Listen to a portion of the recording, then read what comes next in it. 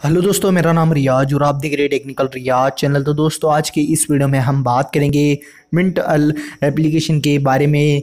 दोस्तों, ये जो एप्लीकेशन है, एक फ़ोटो एप्लीकेशन है मतलब इसके अंदर आप अलग अलग फ़ोटो एडिटिंग कर सकते हैं। इसके अंदर आप आपके ब्रोकन फ़ोटो को ओल्ड फ़ोटो को न्यू फ़ोटो यहाँ पर आप बना सकते हैं।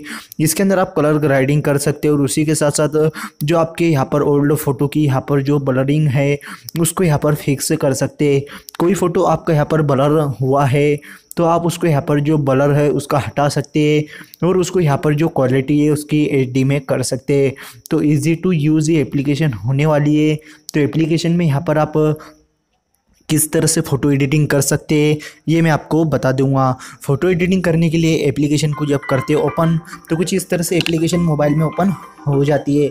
जैसे एप्लीकेशन मोबाइल में ओपन होती है, आपके सामने कुछ इस तरीके का इंटरफेयर दिखाई देता है। एप्लीकेशन जो है, यहाँ पर ओपन होती है और उसके सामने यहाँ पर आपको कुछ इस तरीके का ऑप्शन दिखाई देता है। एप्लीकेशन ओपन होती है और नीचे के साइड में आपको कॉमिक स्टाइल का यहाँ पर मिल जाता है। दोस्तों कॉमिक स्टाइल जो है, वो मिल जाती है और उसी के साथ साथ यहाँ पर आपको फ़ोटो इन चेयर का ऑप्शन मिल जाता है। उसी के साथ साथ रिस्टोर ऑन ओल्ड फ़ोटो का ऑप्शन मिल जाता है। प्रिंटेड फ़ोटो आप यहाँ पर कर सकते हैं। कलरराइजिंग उसी के साथ साथ रिपेयर स्क्रैच आपके फ़ोटो पर स्क्रैच है तो वो भी रिपेयर आप कर सकते हैं। तो एक एक करके यहाँ पर मैं आपको बता दूँगा किस तरह से इनमें यहाँ पर आप फ़ोटो एडिटिंग कर सकते हैं। दोस्तों एप्लीकेशन का यहाँ पर जो ये कॉमिक स्टाइल जो इफ़ेक्ट है, इसमें यहाँ पर आपको करना है तो आपको ये वाले ऑप्शन पर क्लिक करना है। उसके साथों साथ यहाँ पर जो आपकी गैलरीज है ओपन हो जाती है। गैलरी में इसमें आपको क्या करना है, एक फ़ोटो सिलेक्ट कर लेना है। और फ़ोटो सिलेक्ट करने के बाद यहाँ पर दो, दोस्तों, आपको फ़ोटो को आप क्रॉप कर सकते हैं। यहाँ पर आपको फ़ोटो को लेने के बाद आपको ओके पर क्लिक करना है। जैसे ओके पर आप क्लिक करेंगे, जो आपका फ़ोटो है, यहाँ पर कॉमिक स्टाइल में बन जाता है। तो इसके लिए आपको थोड़ी सी एक ऐड देख लेनी होंगी। ऐड देखने के लिए आपको यहाँ पर थोड़ा सा वेट कर लेना है।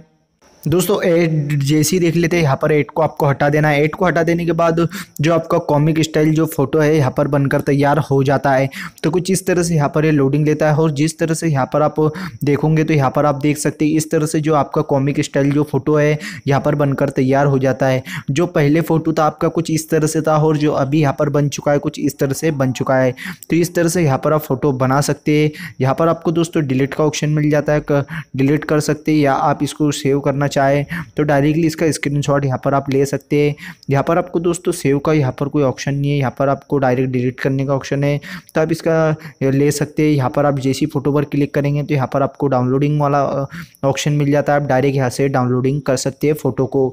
उसी के साथ साथ दोस्तों, यहाँ पर आपको और भी यहाँ पर ऑप्शन मिल जाते हैं, जैसे फ़ोटो इंचर का और जो आपकी ब्लैक एंड वाइट फ़ोटो है, उसको यहाँ पर आप रिस्टोर कर सकते हैं।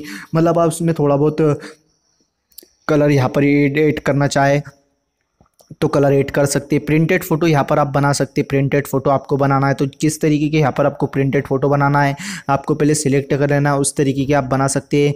यहाँ पर आपको कलराइज उसी के साथ साथ रिपेयर स्क्रेज वाला भी ऑप्शन मिल जाता है। आपके फ़ोटो में स्क्रेज हो तो आप उसको भी रिपेयर कर सकते हैं इसी एप्लीकेशन की मदद से।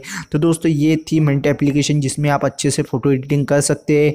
दोस्तों, पूरी तरह के यहाँ पर मैं इफ़ेक्ट आपको एक एक करके नहीं बता सकता क्योंकि वीडियो यहाँ पर बहुत ज़्यादा लंबा बन जाता है। वीडियो अच्छा लगा, वीडियो को करना लाइक चैनल को ना सब्सक्राइब